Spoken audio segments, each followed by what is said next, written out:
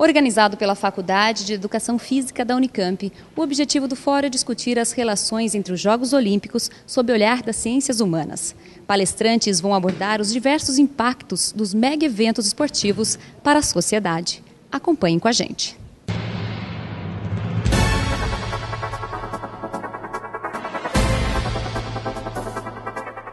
A nossa ideia, né, quando veio a possibilidade de montar o fórum, foi para que a gente colocasse a Unicamp né, como um, um agente para debater um assunto tão importante, porque ano que vem a gente tem né, a, a edição dos Jogos Olímpicos, já tinha acontecido a Copa do Mundo, então seria uma oportunidade de reunir professores que pesquisam sobre a temática em, em diferentes frentes para dialogar com isso. Então, na hora que a gente pensa o fórum e a gente coloca né, um olhar das ciências humanas, a gente tentou articular nesse sentido. Né? Então, tem professores de educação física discutindo o tema, tem antropólogos, tem alguns que vão uma linha mais histórica, né, uma perspectiva do historiador. Então, seria reunir diferentes olhares sobre o mesmo tema, partindo né, a mesa de abertura e a mesa de fechamento da ideia do mega evento, né, do, do que é, do que fica, e no, no meio desse processo vão aparecer as mesas articulando a ideia dos atletas, porque sem eles o evento não existe, e das instituições que organizam esse evento. O professor Arley Sanderdamo, da Universidade Federal do Rio Grande do Sul, abriu as palestras da manhã e falou sobre o projeto realizado de 2012 a 2014, que teve como foco os impactos dos mega eventos esportivos. Ele abordava várias questões envolvidas, sobretudo com a realização da Copa do Mundo. Então, envolvia reforma e construção dos estádios, envolvia é, uma série de eventos é, para além da, dos jogos propriamente ditos, é, envolvia uma coisa que era muito importante, que era a produção dos discursos de justificativa ou de contestação dos jogos e também as mobilizações políticas da sociedade brasileira. Então, são vários aspectos, é difícil fazer uma síntese de todos eles, né?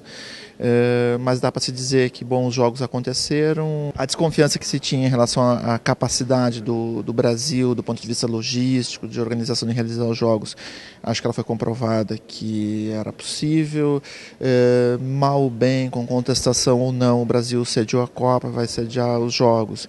Isso é, seria alguma coisa que mais cedo, mais tarde haveria de acontecer, então passamos também por conta disso.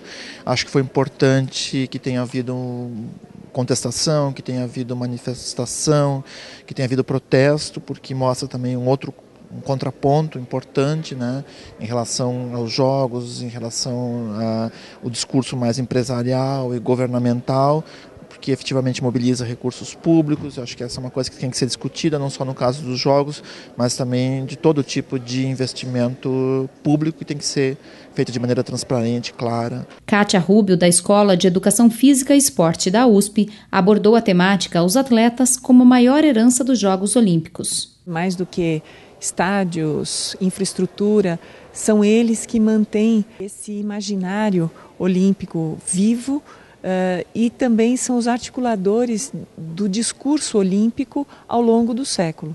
Uh, e que, eh, no processo de profissionalização, tem esse papel transformado em função de se tornarem marcas e não mais simplesmente os protagonistas do espetáculo. A ginástica artística também esteve presente em outro debate realizado pelo professor da Faculdade de Educação Física da Unicamp, Marco Antônio Coelho Bortoleto. Ao contrário de alguns colegas que farão uma abordagem mais ampla do fenômeno dos mega eventos e dos Jogos Olímpicos, eu vou fazer uma análise muito mais focalizada numa modalidade que é a ginástica, tentando traçar um pouco a ideia de que as federações ou a federação esportiva tem um, um, papel muito importante no desenvolvimento ou não das modalidades. E nesse caso vou tentar mostrar como o Brasil veio se organizando ao nível federativo e quais os custos de uma gestão que nós chamamos amadora para o Brasil, que consequências isso tem, está tendo né, para a ginástica brasileira. Com o tema Para Além dos Jogos Olímpicos, a mesa da tarde foi composta por palestrantes que trouxeram estudos em diferentes áreas. Frederico Jorge Saad Guirra falou sobre os Jogos Mundiais Militares. Nós tivemos no ano de 2011, no Brasil, a quinta edição dos Jogos Mundiais Militares. Um mega evento militar que acontece de quatro em quatro anos e que teve o seu início em Roma em 1995, quando se comemorou os 50 anos do final da Segunda Guerra Mundial. O que nos chamou a atenção é o fato de um país sem a menor tradição no esporte militar, é, visto que nós fizemos uma, uma vasta pesquisa na, na, legislação esportiva brasileira, não tem encontrado nenhum indício de que o esporte militar pudesse ter alguma sustentação, por exemplo, como o futebol é para o Brasil, justificaria a realização de uma Copa do Mundo, ou justificando as demais modalidades esportivas para a questão dos Jogos Olímpicos. Então, o esporte militar surge com força total por meio da realização desse mega evento esportivo. Isso acontece no momento em que o Brasil se recoloca politicamente e economicamente no cenário mundial, provocando aí uma janela de oportunidades que vê na realização desses mega eventos esportivos no Brasil uma oportunidade de fazer um casamento esportivo e político-econômico. O professor Wagner Xavier Camargo, da Universidade Federal de São Carlos, abordou os Jogos Olímpicos Gays em uma perspectiva antropológica. Dentro da proposta do Sérgio Gílio, que me chamou para falar nessa mesa, vai estar sendo falado, na verdade, sobre os uh, aspectos dos Jogos Olímpicos, ou seja, como que a gente sai dessa questão do mundo olímpico, pensando o mundo olímpico fora dele. Então é o que eu vou apresentar. Eu vou apresentar a parte da minha pesquisa nos jogos gays, né, nos gay games, né, que são uma competição uh, super uh, grande do ponto de vista uh, número de pessoas, países participantes, etc. E eu vou, na verdade, eu vou me reportar ao que eu estudo atualmente, que é gênero e sexualidade no esporte. Então, nada mais do que isso, na verdade. Assim, ou seja, eu vou falar dos jogos, é, destacando um aspecto importante que, em geral, no esporte convencional não se destaca.